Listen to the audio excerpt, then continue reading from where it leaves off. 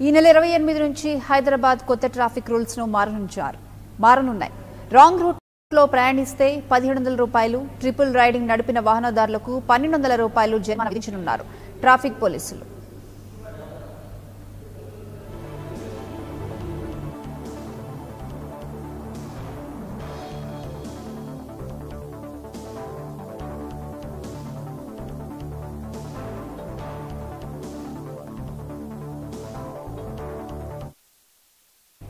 ఈ నెల ఇరవై ఎనిమిది నుంచి హైదరాబాద్లో కొత్త ట్రాఫిక్ రూల్స్ మారనున్నాయి. రాంగ్ రూట్లో ప్రయాణిస్తే పదిహేడు వందల రూపాయలు ట్రిపుల్ రైడింగ్ నడిపిన వాహనదారులకు పన్నెండు వందల రూపాయల జరిమానా విధించనున్నారు ట్రాఫిక్ పోలీసులు.